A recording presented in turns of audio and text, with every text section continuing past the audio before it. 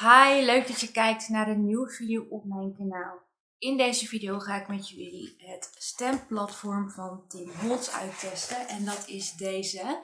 Ik heb deze een uh, aantal weken geleden gekocht en er kwamen toch wel wat reacties op dat jullie het leuk zouden zien hoe je met zo'n platform kunt werken.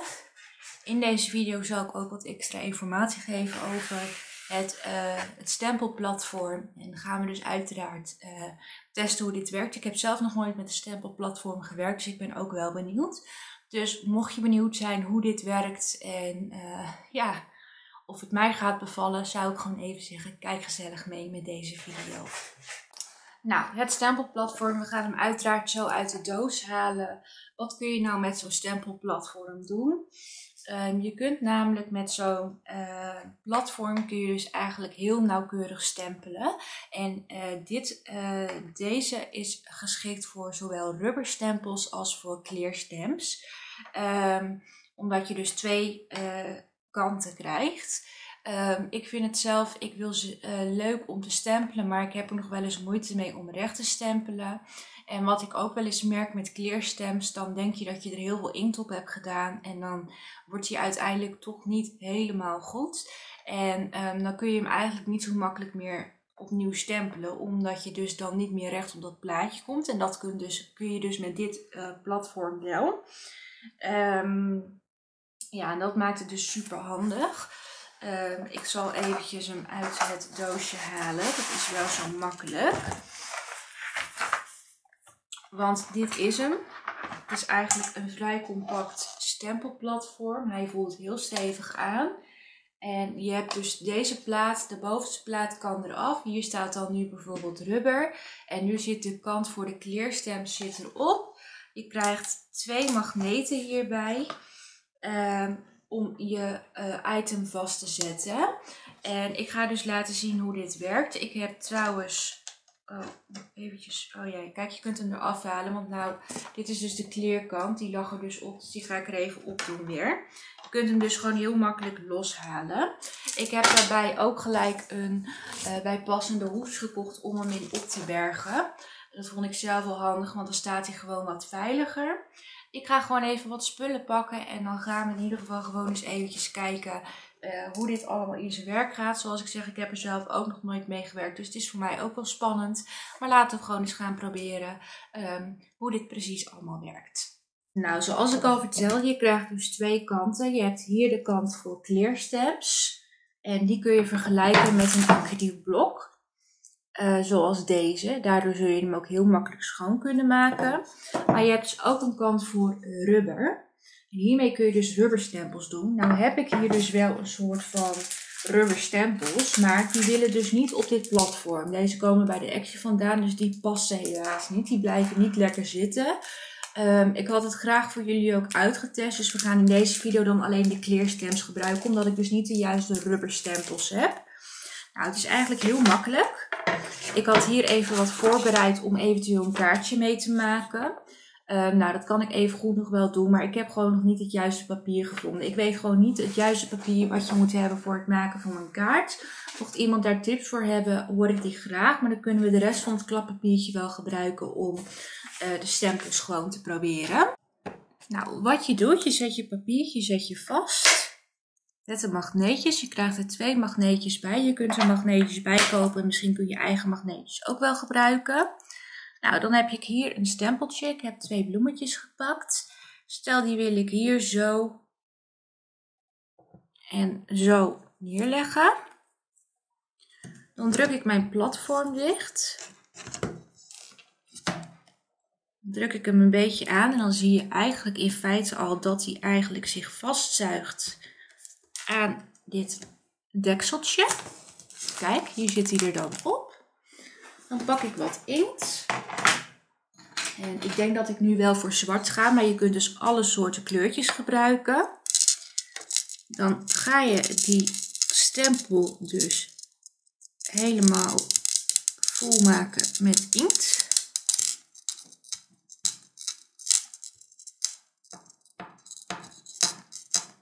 Zo, ik hoop dan dat er genoeg op zit. Nou, en dan druk je hem dicht. Je wrijft er eigenlijk een beetje overheen. Zo. Dat doe je bij deze ook. En als je hem dan opent, zou je normaal gesproken twee stempels hebben. Nou, dus je ziet eigenlijk al, ik heb te weinig inkt gebruikt. Nou ja, dat geeft niet, want ze zitten dus nog steeds op dezelfde plek. Je gaat je stempels weer wat uh, beinten. Ik weet ook niet, misschien is dit niet de allerhandigste inkt die ik nu heb gepakt. Maar ik druk hem gewoon even wat meer in. Het is trouwens wel gelijk een test, hè, dat je kunt zien dat je hem ook dus soms niet helemaal goed uh, hebt gevuld met inkt. Daarom doe ik er nu eventjes wat extra op in de hoop dat dat beter gaat. Zo, die doen we gelijk eventjes dicht. Dan drukken we het platform weer dicht. En dan gaan we hem weer aanduwen. Ik zie wel dat hij nu veel beter inkt oppakt als het goed is. En dan doen we hem weer open. En dan zie je toch dat er nog steeds iets niet goed gaat.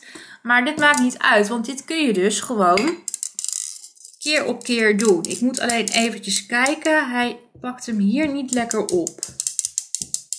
Kan ook aan de stempel. Kan ook aan het stempeltje liggen. Hè? Maar hoe vaker je hem erop doet, hoe intenser hij ook wordt natuurlijk. Hè? Als het nou weer niet lukt, zal ik even een ander stempelkussentje pakken. Want dan kan het ook zijn dat het aan de inkt ligt. Nou, poging 3. Dan druk ik hem vooral hier eventjes wat beter in, omdat hij daar dus net niet echt lekker ging. Nou, Oké, zoals je ziet gaat het dus niet goed. Ik ga even andere inkt pakken in de hoop dat hij het dan beter oppakt. Want met deze inkt lukt het dus blijkbaar niet heel goed. Ja, deze kant wordt heel goed, maar de andere kant dus niet. Ik zal even een ander uh, inkpotje pakken. Een ander inkt uh, dingetje. Ik hoop dat deze het beter doet.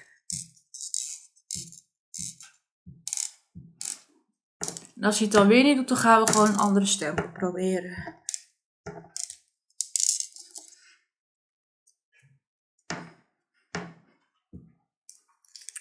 Oké, op hoop van zegen dat hij het nou wel doet.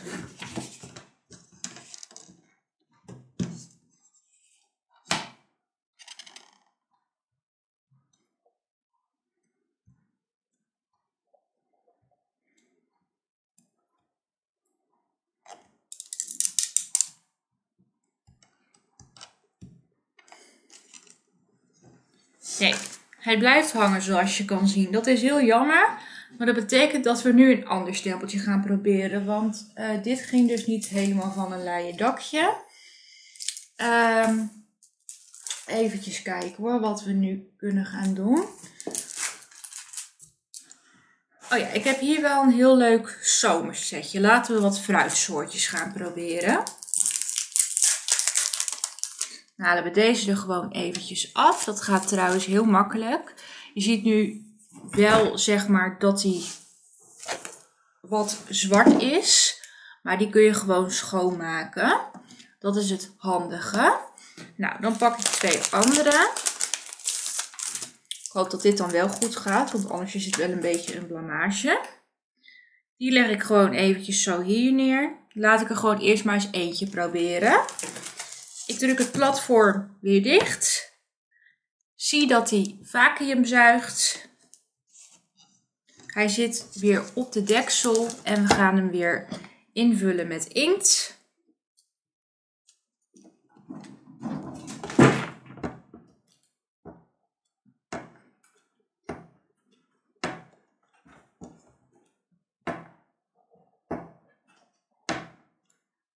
Zo, ik heb er nu best wel veel inkt op gedaan. Ik hoop dat het nu beter gaat.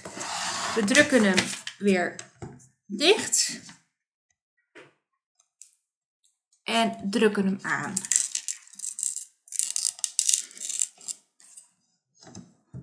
Kijk. Deze zit er al gelijk een stukje beter op. Ehm, je ziet nog wel een heel klein beetje hier het randje wat hij niet helemaal heeft gepakt. Maar dan doen we het gewoon nog een keer. Eerste keren zijn vaak altijd moeilijk, hè? Zo. Nou, en we drukken hem er nog een keertje op. Goed aanduwen.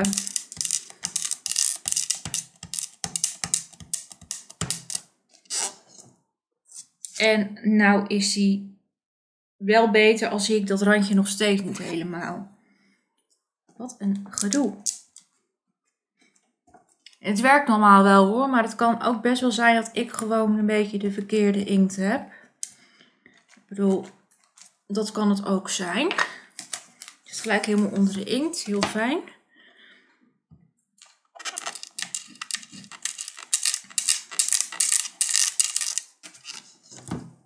Nee, hij blijft het randje niet pakken. Maar goed, zo werkt dit dus. Ik ga nu eventjes proberen of ik met jullie een soort van Ehm, ja, dit kaartje kan gaan maken. En ik hoop dat dat dan beter gaat. Want zoals je ziet moet ik er nog wel even goed mee oefenen. Oké, ik ga deze er even afhalen. Want ik wil dus eigenlijk nu wat proberen met het kaartje. Ik zal de camera zo even draaien. Want ik ga deze eventjes omdraaien. Zo, de knetters, die magneten die uh, zijn sterk. Die vloepen aan elkaar. Ik zal jullie eventjes omdraaien zodat we beter zicht hebben. Nou, ik heb dus het hier allemaal liggen. En dit is gewoon eventjes een voorbeeldje. Maar het lijkt me wel leuk om hier iets te maken. Stel je wil iets voor een, ja, een verjaardag doen. Dan heb ik hier verjaardagkleerstems.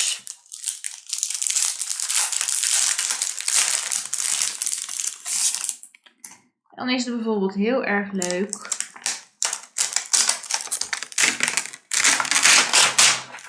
een taart daarop te plakken. Zo, die zitten wel eh, stevig vast, zeg maar.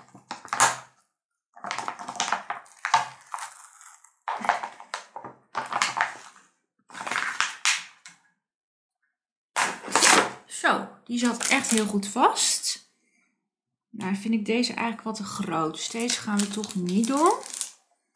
Ja, het komt heel precies.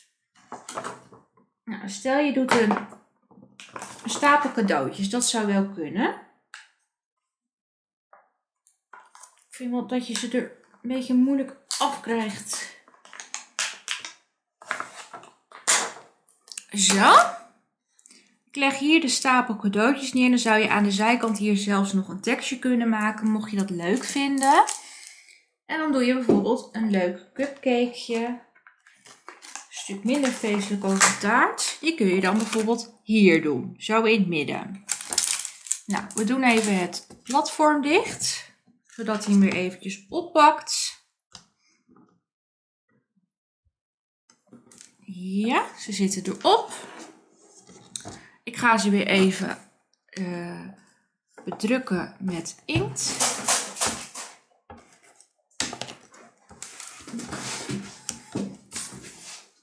ga dit even staan doen.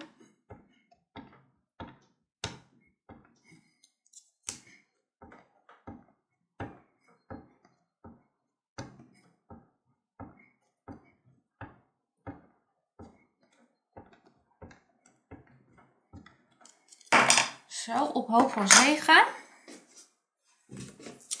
Ik druk het platform weer dicht. En druk hem dus heel rustig hierop aan.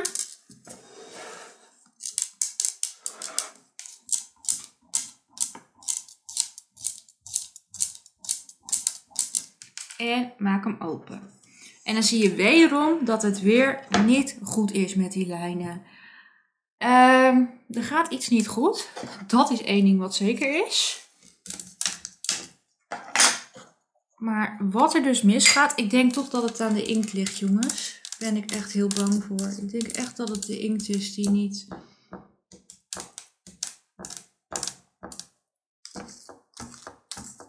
helemaal perfect is.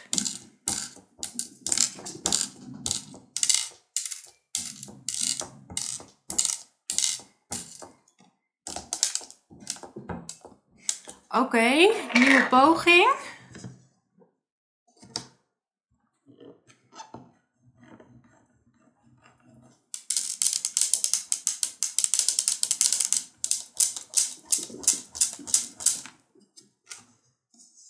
Kijk, hij is al iets beter.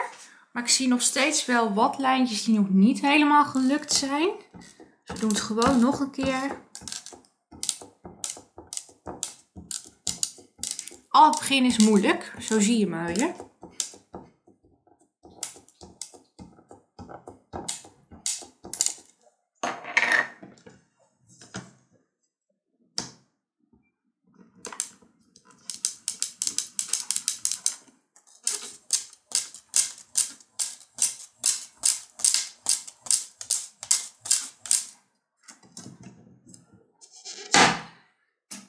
Ja, jongens, ik denk echt dat het aan de inkt ligt. Want hoeveel inkt ik er ook opgooi, hij blijft hem niet helemaal lekker pakken.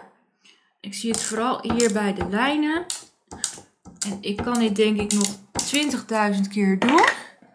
Maar er is iets wat dus niet goed gaat.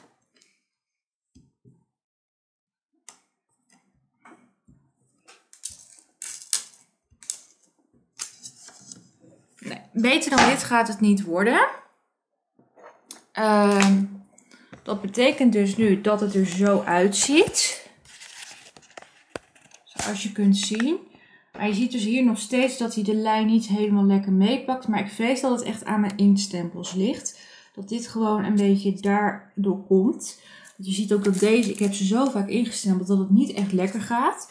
Zo ziet het platform eruit trouwens als je klaar bent. Die ga ik zo ook gelijk natuurlijk even schoonmaken. Zodat we ook kunnen zien of dat makkelijk gaat. Maar beter dan dit wordt het dus nu niet. Maar nogmaals, het ligt bij mij nu gewoon aan de inkt. Maar ja, um, daar moet ik gewoon eventjes een keer andere inkt voor kopen, denk ik. Kijk, ik heb even het, uh, de plaat weer helemaal schoongemaakt. Dan ziet hij er zo uit. Het ging heel makkelijk gewoon met een doekje. Kun je ook met een uh, babydoekje eventueel doen. Je klikt de plaat er gewoon weer eventjes uh, in. En als je dan bijvoorbeeld de hoes hebt, steek je hem hier heel makkelijk in. Hij is natuurlijk nog een beetje stug. Kijk. En dan zit hij gewoon veilig opgeborgen. Nou, wat vind ik nou van het stempelplatform? Ik, nou, op zich werkt het eigenlijk best wel goed. Maar ik heb gewoon zelf de verkeerde inkt. Waardoor ik eigenlijk niet de stempels heel duidelijk op papier krijg. Als je kunt zien, uh, mist hij hier en daar een randje. En dat is wel jammer, maar ik denk echt puur dat het door de stempel komt. Ik heb gewoon inkt van de Action gebruikt en normaal gesproken moet dat wel werken. Maar um, ja, hoeveel inkt ik er ook op deed, ik kreeg hem toch niet helemaal, uh, helemaal goed erop. Dat is wel heel jammer. Maar goed, het was voor mij ook de eerste keer om dit te proberen. Uh, zoals je kan zien, producten die ook wel eens voor het eerst test gaan nog wel eens mis. Desondanks ben ik wel heel blij met mijn stempelplatform en wil ik er wel heel veel gebruik van gaan maken. Ook uh, met het maken van kaarten straks. Maar ja, het ging dus gewoon niet helemaal van een laaie dakje. Maar ik hoop in ieder geval toch dat je een idee hebt gekregen hoe je dus kunt werken met een uh, stempelplatform. Je hebt stempelplatforms in verschillende prijsklassen en ook echt in heel veel uh, ja, verschillende merken. Dus mocht je daar benieuwd naar zijn, zou je daar altijd in kunnen verdiepen. Maar ik ben er in ieder geval wel heel blij mee, ondanks dat het nu een beetje misging. Ik hoop in ieder geval dat je het leuk vond om naar deze video te kijken. Ben je nieuw op mijn kanaal kun je je gratis abonneren door op het rondje met mijn gezicht te drukken. Of op mijn kanaal zelf, er staat een rode button. Daarnaast staat een belletje en als je die aanklikt krijg je een melding zodra er een nieuwe video online staat. Vond je deze video leuk? Doe dan zeker even je duimpje omhoog. Voor nu wil ik je in ieder geval heel erg bedanken voor het kijken en hoop ik je bij een nieuwe video te mogen zien. Doei!